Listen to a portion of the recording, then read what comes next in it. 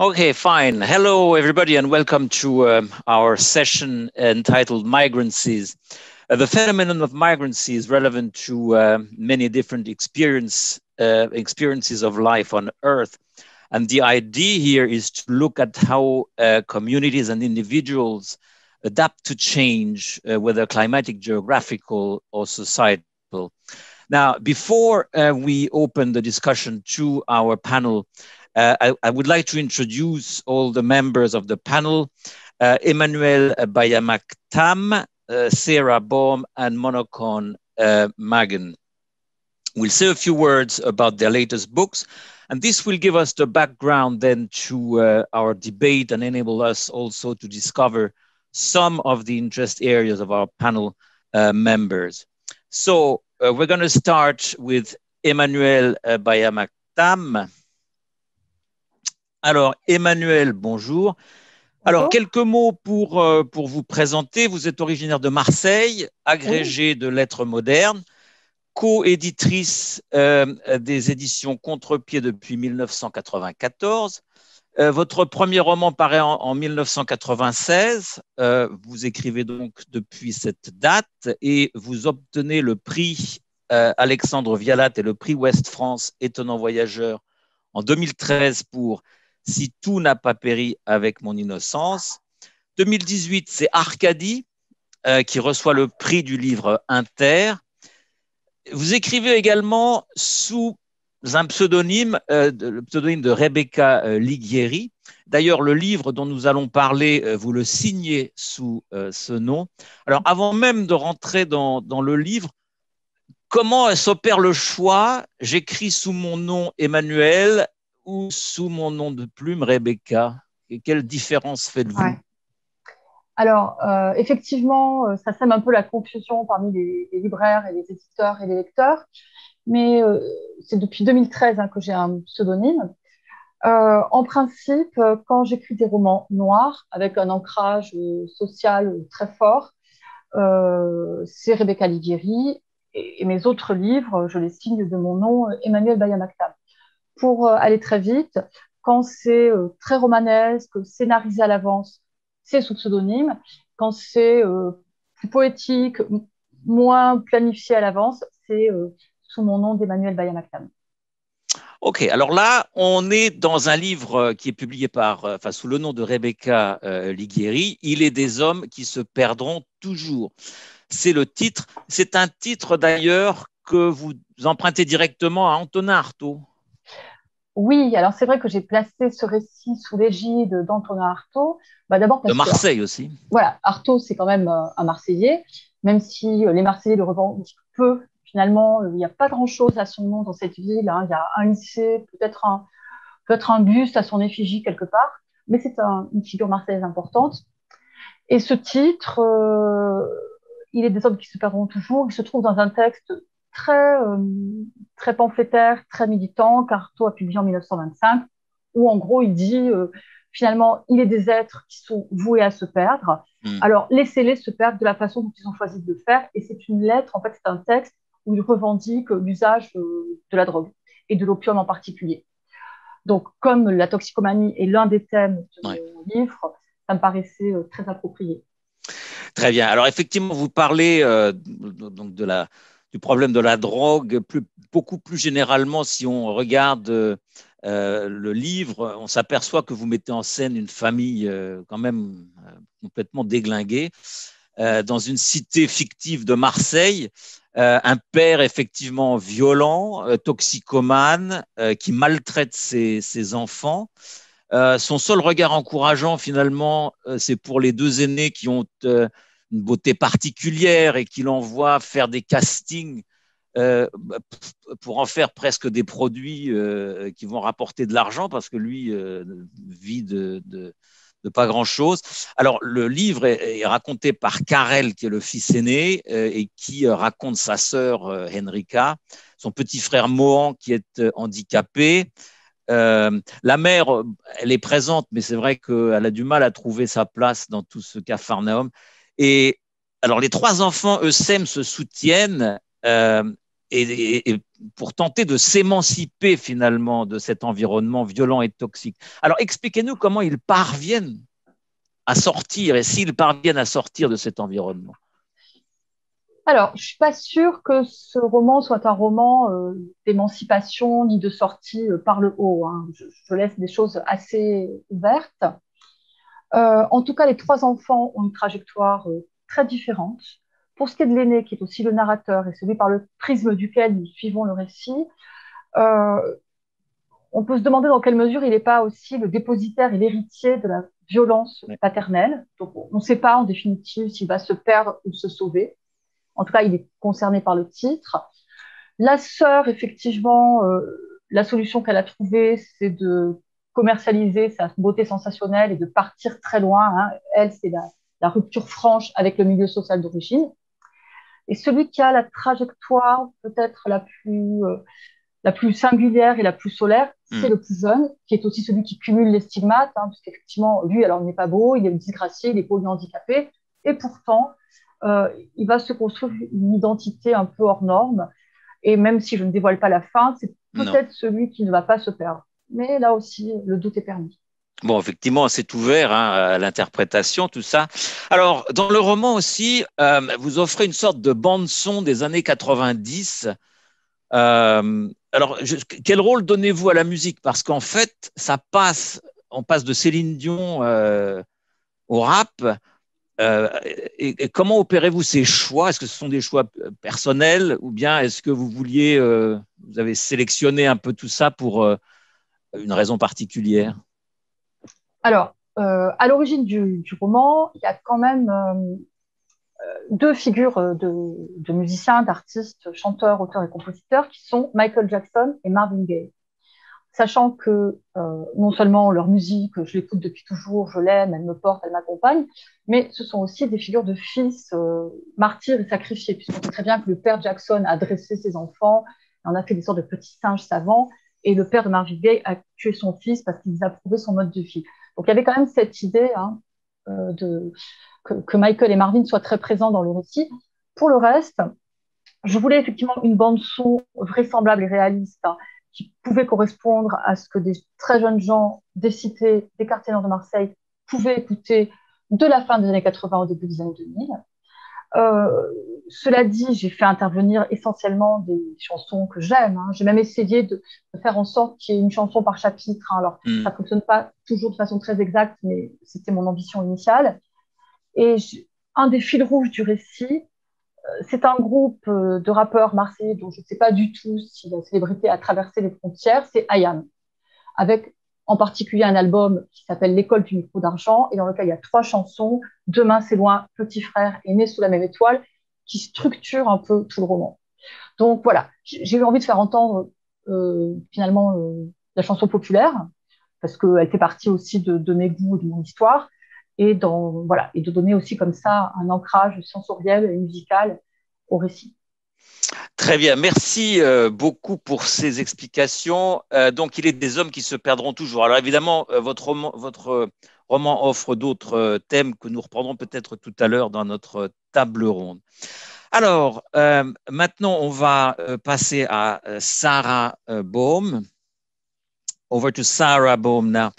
Um, Sara, uh, your debut novel, Spiel's uh, Simmer Falter Wither, was shortlisted for the Costa First Novel Award and won the Geoffrey Faber uh, Memorial Prize and has been translated wide, uh, uh, in, uh, sorry, widely, including into French. the French title was Dans la baie fauve. A 2017 second novel, A Line Made by Walking, shortlisted for the Goldsmith Prize and in 2020, uh, during the lockdown, I suppose you published your uh, first non-fiction book, uh, Handiwork, uh, which we will uh, talk about uh, now.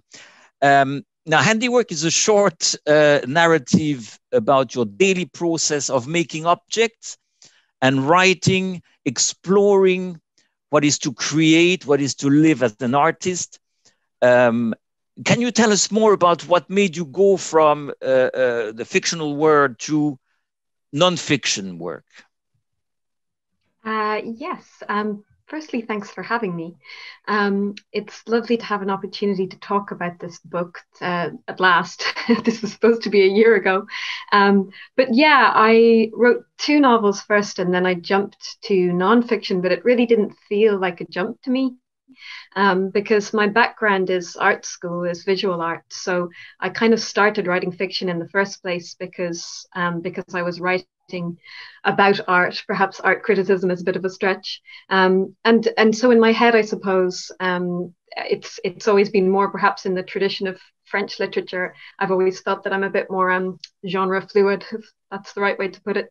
Um, so when I started handiwork, I thought that I was just writing a long essay, I suppose, or an essay, and then it became a long essay. And then at a certain point, I thought maybe this is a really short book, um, and uh, and so it was it was for me just a series of notes that then started to become connected, um, and I suppose that's how I write nonfiction um, essays certainly is just sort of finding making little jumps between things. And uh, and I do believe that if you um that if you if you work hard enough you can make the connection between anything. Um so it's it, it got to a stage at which I thought okay these things these things make sense together and I kept going. Yeah.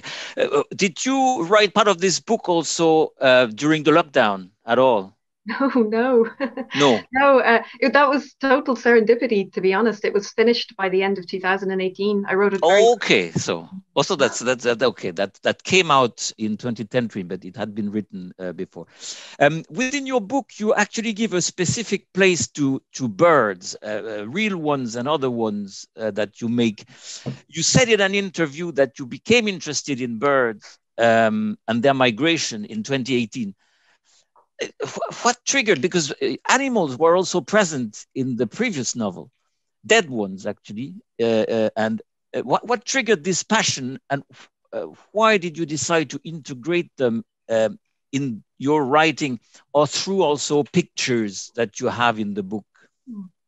Yeah the, the illustrations in the book are um, i actually had a series of other photographs. I've always um, i'm a big fan of wg sebald and so i'm always sort of trying to do things that slip between genres or um, or integrate photographs in a kind of a, um, a spontaneous kind of way. So I had this whole other series of pictures, and it was when coming up to handiwork being published, um, one of my editors, Lisa Cohen, said to me, um, "I'd love to see what this specific bird um, called the northern wheatear looks like, because the wheatear is kind of the central bird. It, it begins with that um, and then it sort of is followed in some sense through the book. Um, and she said to me, I'd love to see what, what it looks like. And I, I couldn't put in a photograph because they're notoriously hard to photograph. I didn't want to use someone else's photograph.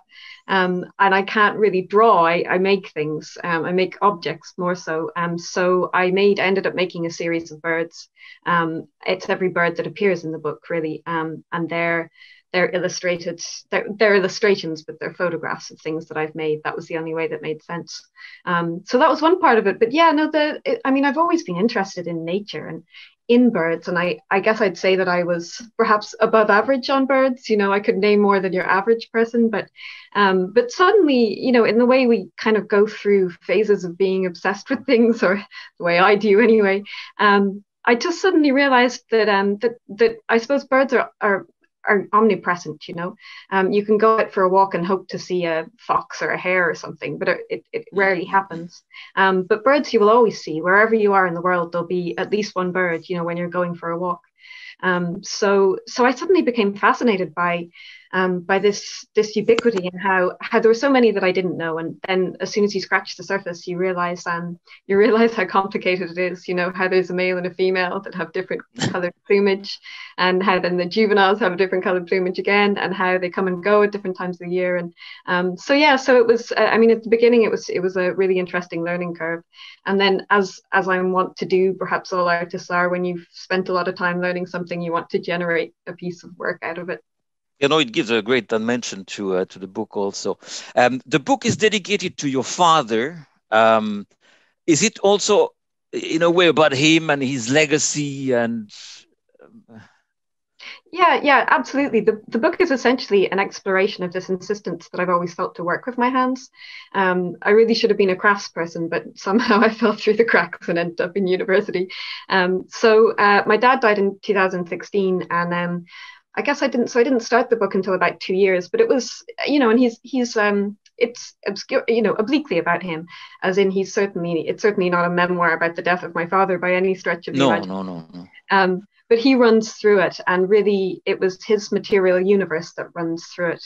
Um, when he died, my mother gave me um, a photo frame, and all of the pictures in the frame, actually behind me on the wall here, um, all of the pictures were um, of things that he'd made around the house and garden. You know, just things like um, gates and uh, cattle troughs and paths. Yeah. Um, and uh, and it was, I suppose, her way of saying, you know, this is um, this is his his material trail. You know, this is his legacy in, in, in a very humble sense because he um he was a quarry worker. He wasn't an educated man. So it was an it's an, also an ex- exploration of that and how all of the things connect. Yes, where they connect. Well, thank you very much, uh, uh, Sara, for for this. Uh, the book is called Handiwork. Um, now, finally, uh, we meet uh, Manchán Magan. Kan du starte, Manchán? Oh, no, wa, Dominique. Das grein gaelga clushant. Gaelga i français anglais, perfect. okay. That's the extent of my Irish, unfortunately. Um, although I, I, I, learned quite a few words reading your book, 32 Words for, for Field. Now, um, Manchán, just you are a writer and a documentary maker. You have traveled the world, Africa, India, South America. You brought back books like a Journey Through India, for instance, radio programs. Uh, you have presented also uh, documentaries on issues of world culture for TG Ceathair, uh, RT and Travel Channel. Now, the book that we're going to talk about now kind of brings you back to Ireland uh, because it's about the, the, the Irish language and the richness of the Irish language. And the title, as I said, 32 words for feel. um, is already an indication um, both of the uh, of the richness of the Irish language and also the different way of seeing the world uh, it offers. And because among other things, what you explain in the book is that uh, how speaking Irish and English is different and offers actually two different ways of seeing the world. So, how different is the world in Irish as opposed to the world in English? Absolutely different, like chalk and cheese. Um, and because this theme of this conversation is migrancies, the key reason is because of that migrants. So we have been on this island for 4,000 years. Like DNA, only in the last five or 10 years, our, the DNA analysis has shown the Irish people have been here for 4,000 years. And then we have some of the DNA of the people who are here. That is the Bronze Age people, we are. But then we have some of the DNA inside of us, some of the people who were here before us, the Neolithic people, and a tiny amount of the hunter gatherers who were here, who arrived 10,000 years ago. But when you have any people who have been on the same island for so long, you are going to build up this both dense word structure, word vocabulary for things, for nature, for birds. In fact, I, I, should give, in honor of Sara's father, I should give some beautiful bird words in a second. But you're going to have that, the essence, the essentialness, the vast, like the way trees have huge amounts of junk DNA over the centuries and over the millennia, you build up this storehouse, which modern languages like English and German and French and, and, and Spanish don't really have. You know, the, uh, modern languages are a lot more efficient but they but they lack that that um, that richness. And the other thing it has is this connection with the other world, because of course now there's nothing exceptional about Ireland. It's just all ancient cultures believed in the other world as much as they did in um, in this in, in this world in reality. And so almost every structure of the Irish language is connected with acknowledging that we are in one reality, but there are other realities all around us. And I often use as an example the word, the Irish word for a place or a region or a district is counter, counter. But there was always the opposite of counter, which is alter. And alter is the other world. And everybody recognized what, until maybe a generation or two ago, that it was a thin veil, it was a thin line between counter and alter. And there were some people who could jump from, from one to the other. But can I just give you maybe three words for birds that give a sense? Like there's the word straen. Straen is a flock of mixed gulls over shoals of fish. Or the word droline. Droline is the word for a wren, the common word for wren, but it actually means dri aeon, druid bird. Now, dru is an old and Indo-European word. In fact, the same word is in, is in Sanskrit and Hindu. But because we believe the wren had this potency, was a sort of godlike figure, we have we still call it after the you know the druid bird. Um, and then there's lovely ways like we look at we would look at animals around us in natural, in almost a childish way, in a native way. So the long-eared owl was ceann cait, which is like the head of a cat. Or our bat is sciathán leathair, which is um, wings of leather. So it's this almost it's a nature-based, observation-based, very rooted-based language.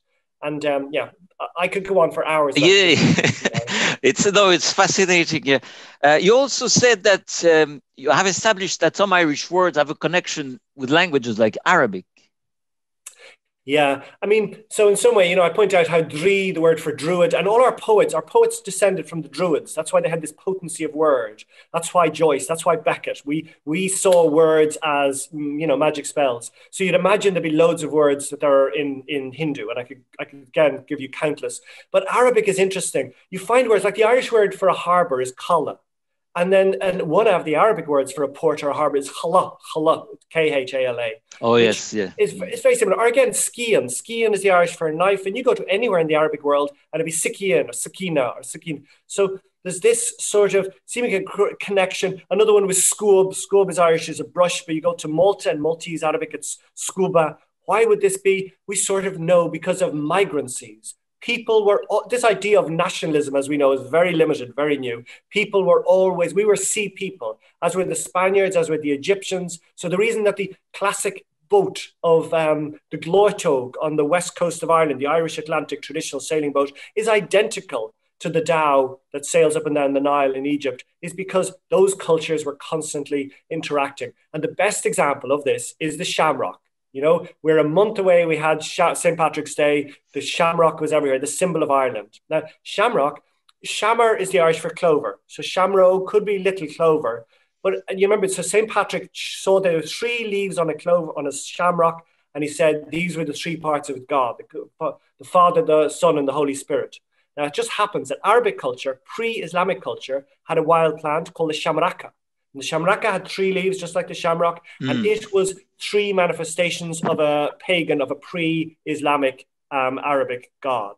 Now, whether it's coincidence or whether it just shows we are all rooted to everybody, all ancient people. The minute we go back, we are one. And you take any old language, as I said, Irish or, or um, you know, Sanskrit or anything, and you will find these connections back to, to a solid whole. And that's what excites me. Good, yeah, very interesting. Do you have any questions, Sara or Emmanuelle, about the, the, the Irish language and uh, what, what uh, uh, Manchán just said? Could, uh, could I just chip back in and say um, thank you for the bird names? I actually, I'm actually quite good on bird names, and this is one of the um, uh, one of the processes that I went through when I was learning about birds, because all of the good Irish bird books will have um, will have the, the name in Irish as well. Um, and and I was fascinated by the way. Uh, I mean, like like an awful lot of Irish people learned Irish in school. It's it's it's pretty poor now. Um, but what's led me back to it has been trying to understand better the the environment that I live in, um, because the Irish words will expand upon it in a way um, that that Manchán has just explained really. Um, so, like for example, one of the words for one of the names for swallow, I think, is something like etologue, which means then flighty creature. So, you know, you're getting, well, swallow in English means nothing really. Um, you get a short description of the bird when you know its name in Irish. Um, so, so yeah, but I mean, here, to be honest, that that kind of regeneration of interest um, in the Irish language has come to people like me through Manchán's many years of documentary making and writing. So. Emmanuel, vous avez une, remarque à faire sur euh, ce qu'a dit euh, euh sur la langue irlandaise, etc. Alors, pas sur la langue irlandaise en particulier, mais euh, je, l'envie beaucoup, et j'envie Sarah aussi d'avoir plusieurs langues, parce que je pense qu'effectivement, euh, on, peut changer de, perception en changeant de langue, et que parler et penser dans une langue, parler et penser dans une autre langue, euh, c'est d'une grande richesse de pouvoir comme ça naviguer entre l'anglais et le gaélique. Je trouve ça merveilleux. Bah oui, oui, c'est effectivement merveilleux. Ce n'est pas mon cas, malheureusement. Euh, alors, euh, Thank you very much, uh, Manchán. So uh, your book is 32 words for field.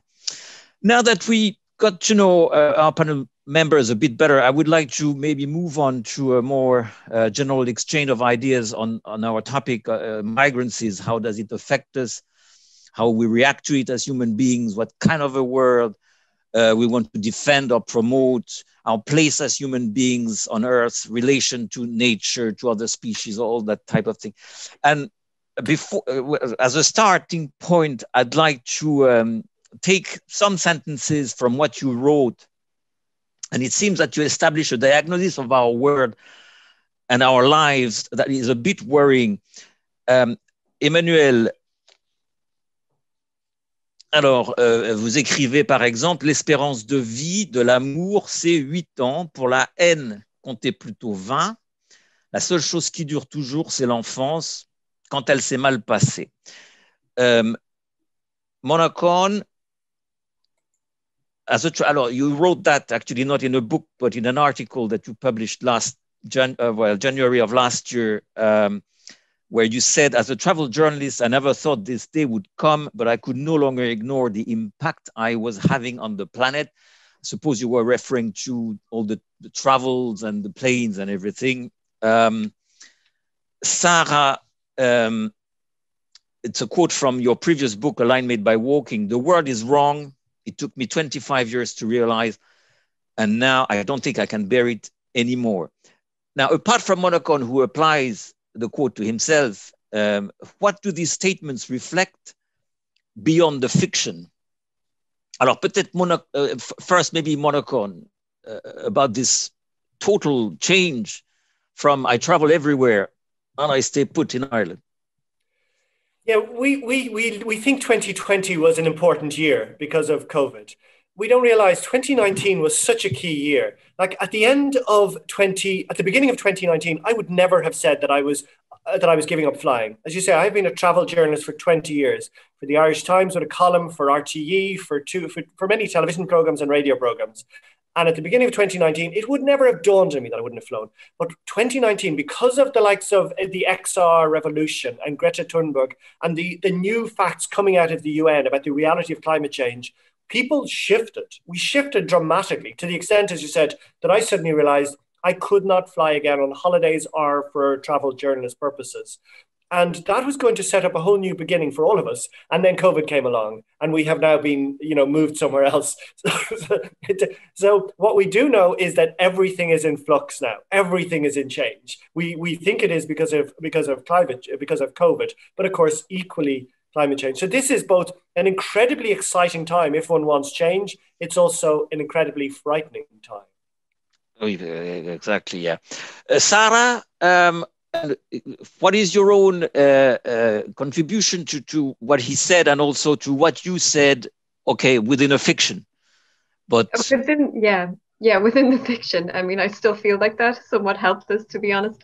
But um, beyond the fiction, does it have uh, an interpretation in in the real world in the yeah yeah it does absolutely. Um and it's funny just like um Manchán though it would be easy to, to fake this now but i had the same feeling at the beginning of 2020 i'd said i'd turned down sort of invitations for various trips um and because i felt because 2019 had had that effect on me i just felt that i couldn't justify um you know flying somewhere usually flying a long way for just like a couple of days um, for for what really you know to promote my own books which really is not a noble cause mm-hmm. um, and for a couple of years it was all very thrilling and exciting but i had a trip close to the end of 2019 i went to tokyo for a few days and um, it was it, it was magnificent and yet um, and yet also sort of horrendous because Japan was somewhere I'd always wanted to visit, um, and yet my body clock completely failed me, and uh, and for four days I didn't sleep at all, so I couldn't sleep when it was supposed to be night, and then I was obviously completely exhausted all day,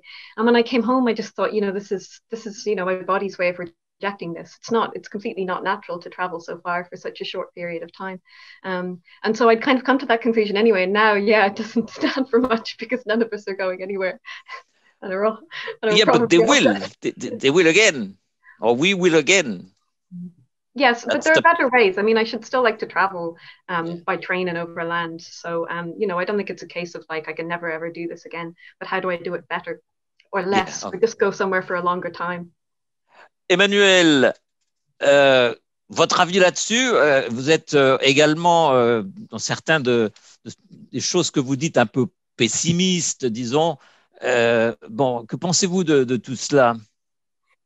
Alors, moi, ce, que, dit Sarah, hein, que finalement, ça lui a pris 25 ans de constater que le monde n'allait pas.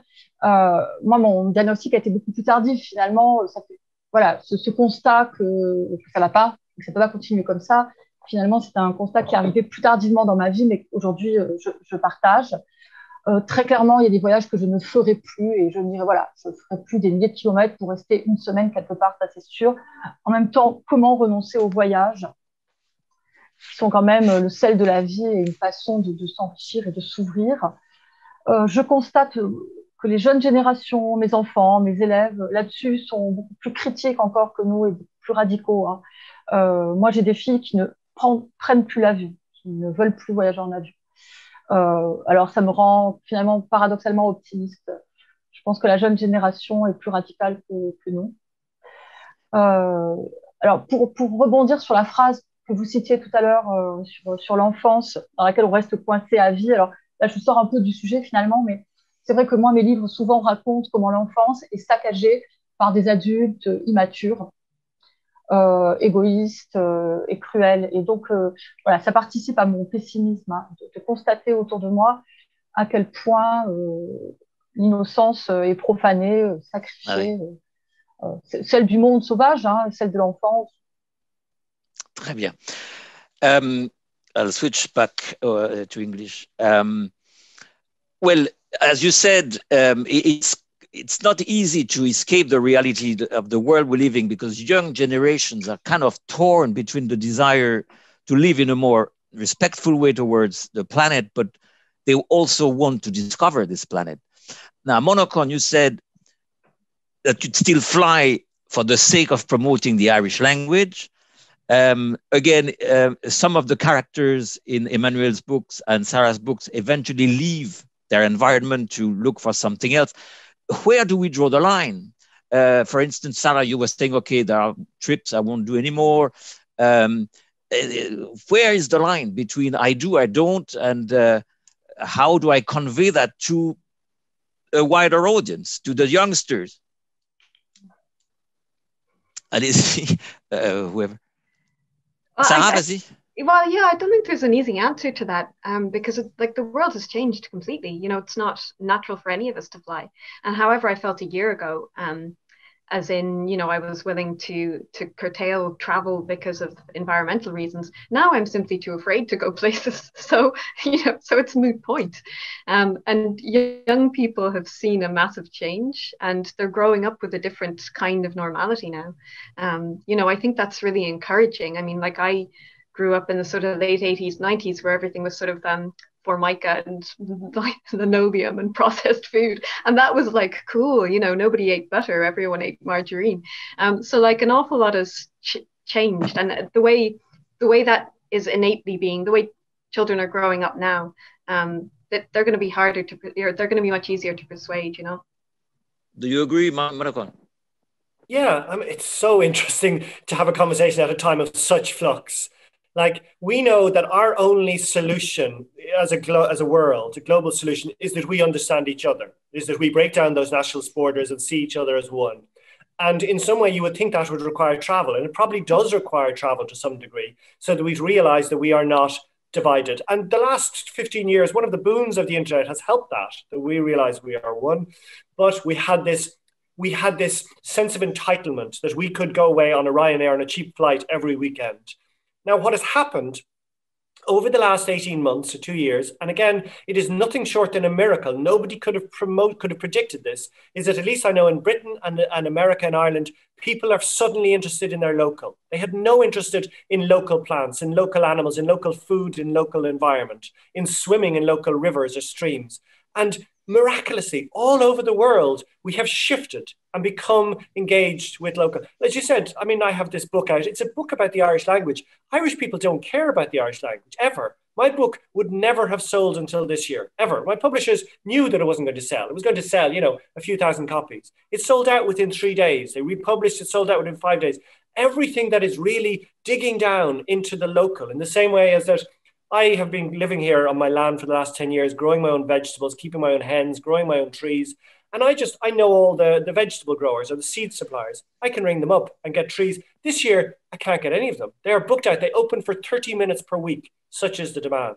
So just as Emmanuelle says, her daughters have this entire new uh, mindset, so do a lot of people, it seems. Ok, Emmanuelle, euh, vous pouvez répondre. Effectivement, vous, vous, vous parlez de, de, de, vos enfants. Euh, Est-ce que vous avez l'impression que c'est quelque chose qui est partagé par, euh, par leurs amis, par exemple? Quoi donc le, le refus de. L'idée de, moi, je, travaille, je, ne, je ne prends plus l'avion, je ne mange plus de viande, euh, etc. Euh. etc. Est-ce que ça, c'est partagé? Parce que. enfin, peu importe. Allez-y peut-être, Emmanuel, oui. Alors, moi, je suis partagée, mais au sens. comment dire Je suis un peu hésitante hein, sur l'idée que finalement, euh, le meilleur conseil que j'aurais quand même à donner à un jeune homme ou à une jeune fille, c'est quand même de partir. Mais pas forcément géographiquement très loin, mais, de, rompre avec euh, son milieu social d'origine, son environnement proche, partir peut-être pour mieux revenir, mais en tout cas, euh, ne pas rester dans sa zone de confort et essayer quand même de connaître un peu, de, de se confronter un peu à l'altérité. Donc, vous voyez, à la fois, euh, je vois bien que le tourisme de masse ne peut pas continuer, je vois bien qu'on ne peut plus continuer à prendre des avions pour un ou pour un an, et en même temps, je demeure persuadée qu'il faut que, euh, les gens partent, quittent euh, la famille, la ville d'origine, enfin, ça, reste un conseil, me semble-t-il, à donner aux, très jeunes gens. Quant à savoir si la position de mes filles est partagée, je crois que malheureusement, elle est très connotée socialement. Mes filles, finalement, sont des petites privilégiées. Elles ont déjà voyagé. Elles ont déjà fait des grands ben, voyages. Elles ont beau jeu de dire ah ben non maintenant voilà. fini. En revanche, euh, euh, enfin nous on vit dans une cité. Je suis sûre que leurs petits voisins et voisines, eux, ils aimeraient bien prendre l'avion un jour. Ils ne l'ont pas encore fait. Donc je, je sais pas. Je, je c'est encore en, en, chantier dans ma tête. Bon, um, yeah, it's it's it's kind of true. It's uh, it's easy for us to say, you know, don't do this, don't do that, because we have we've been there already. But uh, how to convince the, uh, the, the younger generations um, might be a bit more uh, um, complicated. Um, now, looking at your books again, it seems that on the part of Manchán and Sara, there is a kind of back to the roots um, language and land. And on the contrary, with Emmanuelle, okay, even if you're saying, Emmanuelle, that okay, you, you would encourage your children to leave home, but not necessarily to go far, there is still um, the you know you you you you're looking for something outside your familiar environment. Uh, whereas with Manchán and, and Sara is kind of back to the roots, back to Ireland, back to the land, to language. Um, am, am, I right in saying that? Manchán, but, but, but uh, maybe. Yeah, I mean it's so hard because you know the minute we uh, one is talking with writers, writers by uh, by definition are an a sort of an elite group in society. Again, as Emmanuelle said, you know we are we are a group with particular um, chances and opportunities, and so you know if you if if you ask writers, do they know about organic food and do they sometimes eat them? The likelihood is quite a high percentage would. But if you ask like football fans or other groups or engineers, you mightn't get the same. So I am going to be rosy eyed. I'm not because I'm a writer who's been interested in nature for 20 years, I don't represent the mainstream. Um, but I, have always wanted to, to, grow my own. You have to Sorry, talk what? to the mainstream. One has no. to talk to them. Yeah. So what does one do? You want to, I want to represent my own spirit, my own inner spirit, which is idealistic, you know, which is probably not the norm. But I think there is a way of putting one's own idealism across in a passionate way that some people will laugh at and dismiss, but some people will think, okay, there is an alter- alternative way of going, of doing about it. And like my life requires no lack. I have I, you know, I, I, eat so well, but it is all from the land. It requires a bit of work in the garden, but that's only two and a half hours uh, work every day that otherwise I would be possibly in the gym or, you know, or cycling. So these things need to be presented not in a hippie, crusty way that we turn our back on the West, That's but that it, we yeah. have all of the advantages of the West and also we re- use some of the elements of tradition. It's complicated, but it'd be very exciting if it works out. Sara? Yeah, yeah, I'll chime in on that because, um, you know, you phrased it as sort of going back to roots, um, going back to the land. And I, I have a really uneasy relationship with that because I'm not, you know, I'm not from maybe I didn't phrase I it. I'm not um sorry, sorry, I'm just hearing the translation there. um, um, I'm not from where I live. Oh God, I'm having I'm having a, a technical error there, so maybe maybe Emmanuelle. Emmanuelle, yeah, if, if, if, vous voulez euh, soit rebondir sur ce qu'a dit euh, Monacon ou, ou euh, euh, vous exprimer sur, sur ce sujet avec vos, est-ce que vous voulez euh, nous, de, nous euh, faire sur, le, sur, sur, quel sujet? C'était sur le fait que euh, pour euh, les, les, livres de Monacon et de Sarah, on a l'impression que c'est un retour pour eux vers la terre, vers les, les, la, la, la, langue, etc. Alors que dans vos livres, il y a quand même des gens qui essayent de sortir de, de, leur milieu plutôt que de, de, revenir vers quelque chose. Donc c'est plus vers l'extérieur, alors que ouais, ouais, on le connaît Sarah, c'est euh, ben, il a voyagé partout dans le monde. Euh, Sarah va passer donc euh, une année à écrire un livre pour décrire ce qu'elle fait au quotidien dans un environnement quand même assez restreint. voilà, c'était le sens de la. Oui, alors, mais ça vient, ça vient peut-être de ce que mes personnages, moi, je les saisis souvent à l'adolescence, à, à, un âge où de toute façon, il est salutaire de ce que je disais tout à l'heure, hein, de, partir. Donc peut-être que la question se pose un, peu différemment pour moi. Hein.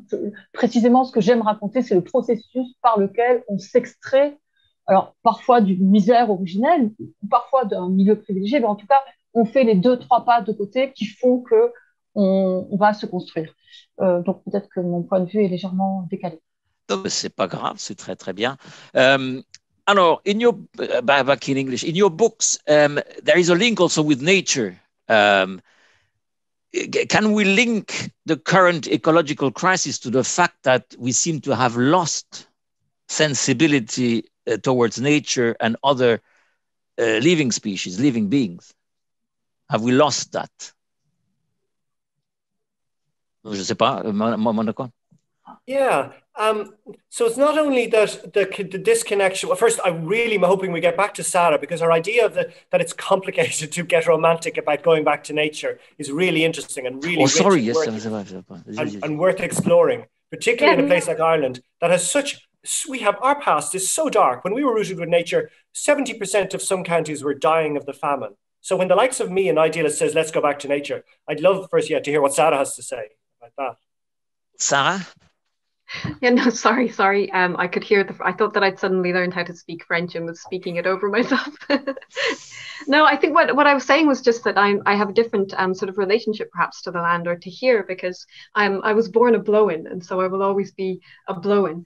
Um, I and so you know I'm not from where I live. My mother's not from where she lives, um, and my family are more scattered. But really, I think that's much more typical now. So for me, part of writing and thinking about the land and sort of relearning Irish that I'd forgotten is is about trying to create a new form of identity, you know, for um for for the Irish that we are now, you know, which is a more composite um, collection of things.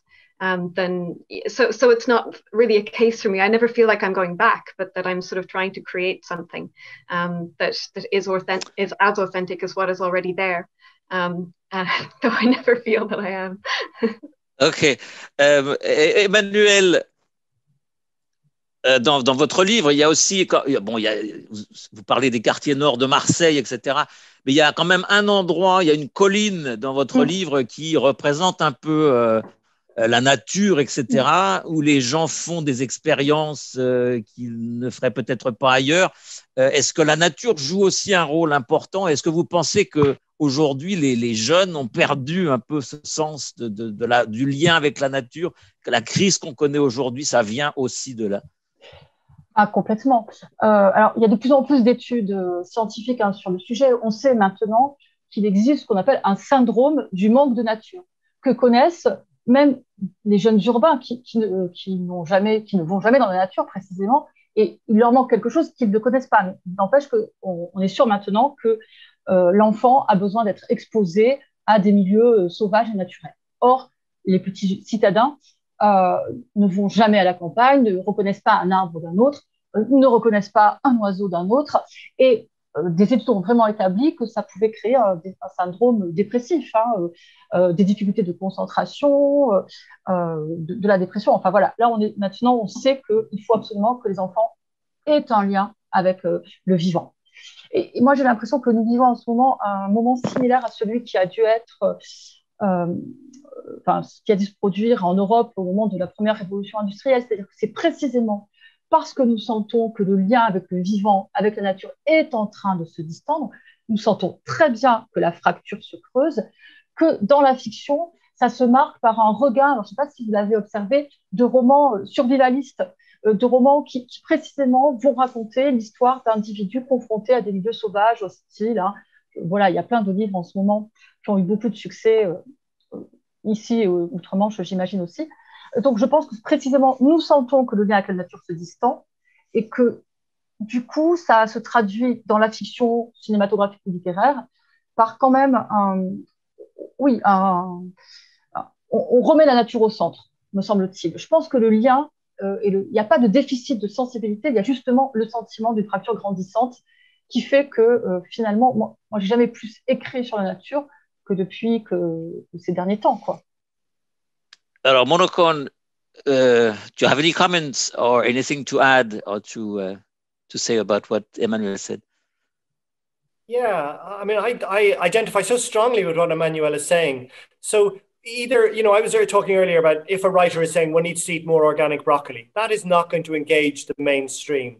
But if you tell them to go out in nature, if we find ways for people to go out in nature, nobody is not enthused. Nobody is not lifted by when they're connected with nature because it isn't in the brain. You know, science has now shown us that if we touch the earth, if we grow things in the soil, serotonin is released to the same degree as Prozac. It is the exact same results in the body biochemically. So this is not me needing to be a writer and say, be great and go out like Walden into the hills.